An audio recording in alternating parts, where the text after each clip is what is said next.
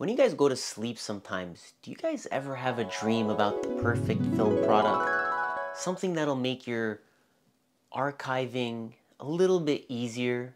That's a dream I've definitely had, and I'm happy to share that my friend Chris from Germany has answered all our prayers.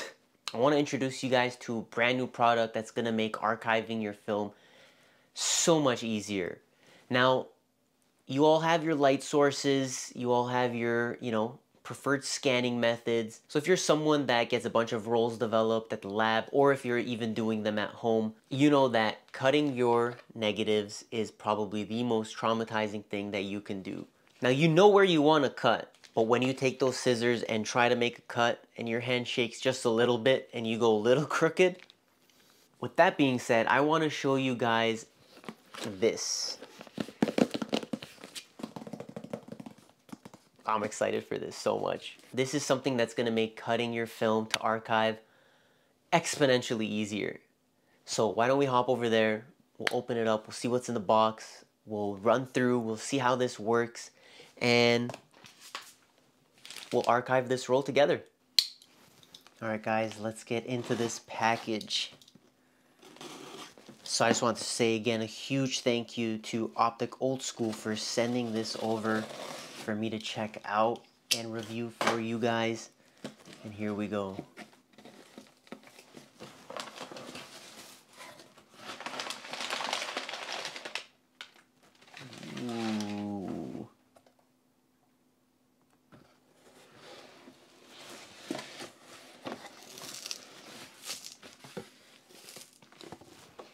So here we have the little uh, little postcard for it. So this is the Optik Old School Film Killer. So this is gonna be for cutting up your film, whether it's 35 millimeter or 120. This is gonna make your life so much easier you can't even imagine. Ooh, what's this? We got a little uh, little goodie bag in here.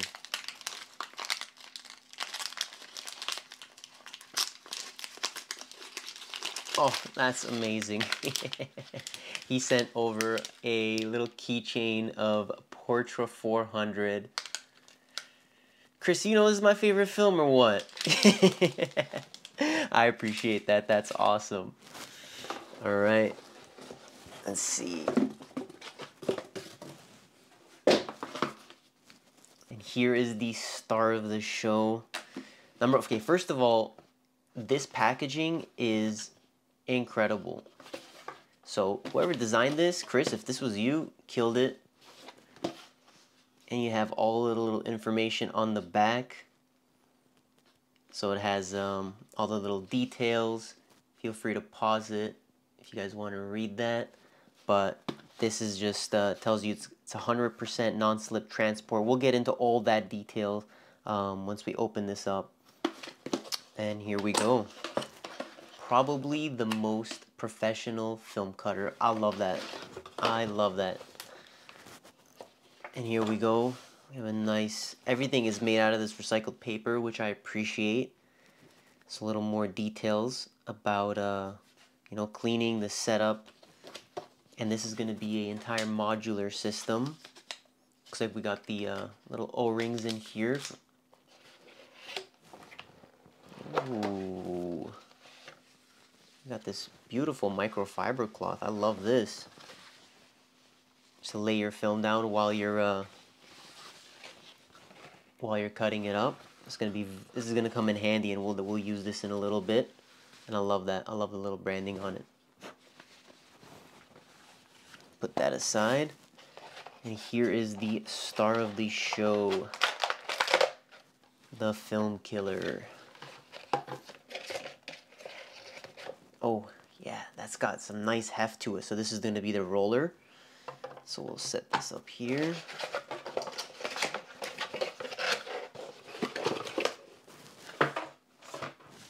Okay. So, let me walk you guys through how to set this up.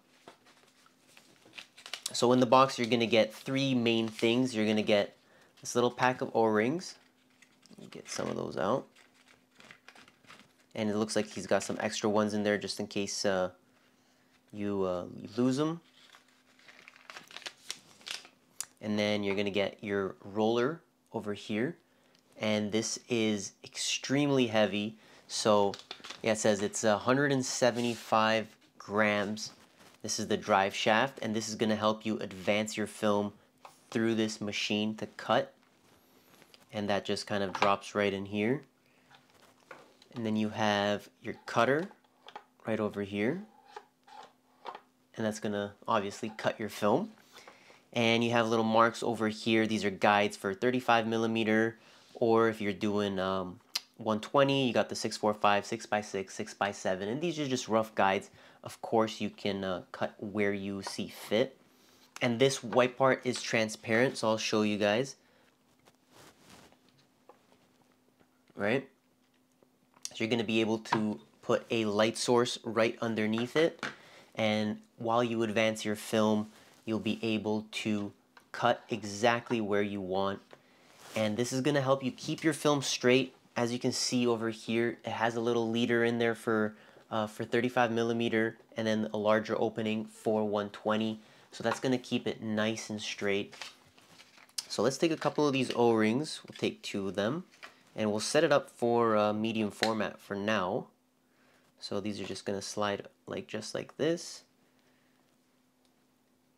And we'll roll on the far one first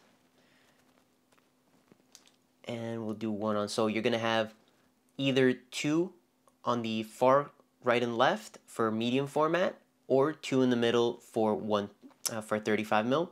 So we're going to have them on the edge. And that's essentially the entire setup process. So you see how easy this is to set up and you can have this right next to your scanning setup. So anytime you need to cut film, or do some archiving while you're scanning. You know, you don't have to worry about getting the scissors. This will just sit there and this is going to be extremely seamless to use and integrate into your setups.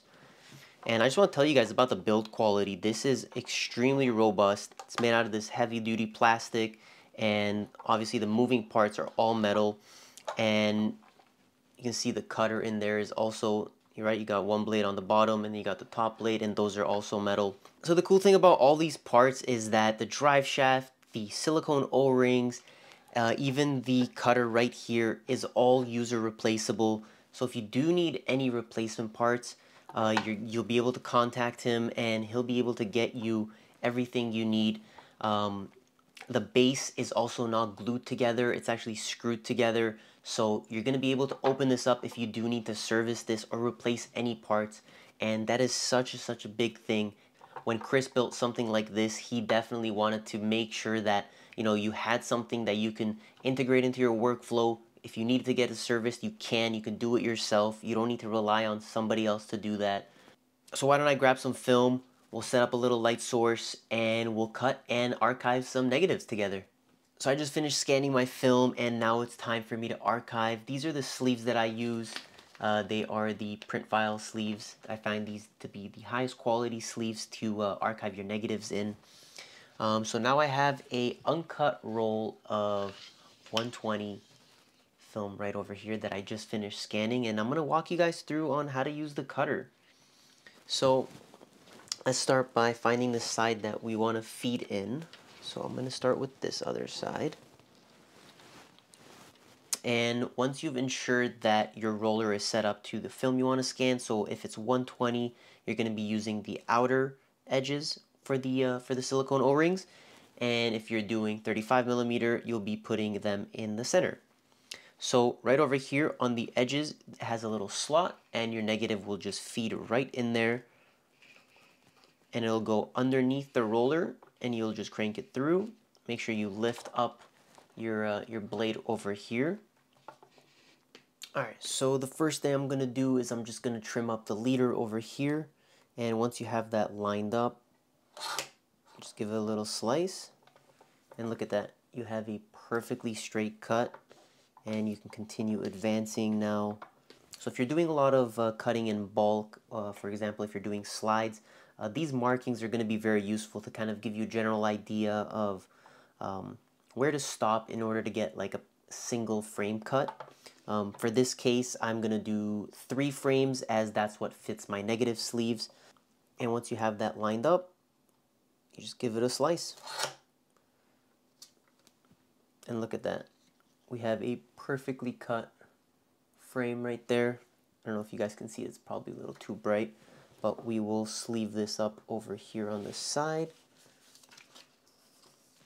So one, two, and this will be our third.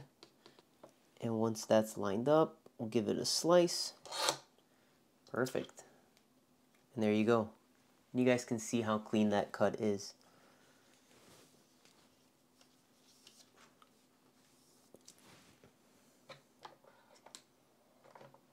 Now it'll probably be easier if you had a bigger light source. My other light source is over there where the scanning setup is. So we're just using this little LED panel for now. So one, two, and three.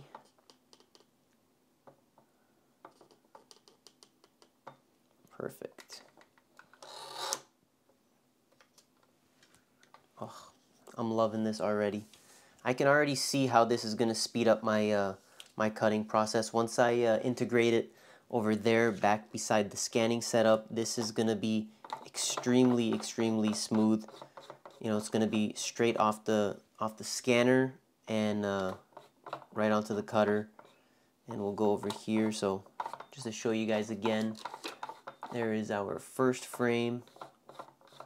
And you go two and three. And there you go. And give her a little slice. Ta-da! So this is, you can probably see better on this one. See how, see how straight that is? There we go. So you guys can probably see that a little better now. But you see how straight that cut is? That's something that's going to be extremely difficult to do with scissors. so this is going to make, you know, life a million times easier. And we'll just sleeve that up nice and gently. Yes, don't come at me. I do not use gloves, but it is what it is. I enjoy working freehand. And yeah, just like that, we have some sleeve negatives. And look at that, everything's perfectly straight. I am thoroughly impressed by this cutter. And again, if you have a little extra in there, slide it right through. I love it. This, for 120, this is great. For 35, this is a blessing, especially with how small each frame is. You know, having the ability to just slot it through with this and it's going to just keep it straight the entire way.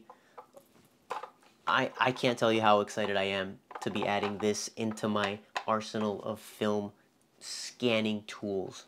I want to say this again. This is amazing. You guys watched the demo. You saw how easy this was to use. If you're still cutting film with scissors, throw those scissors out the window.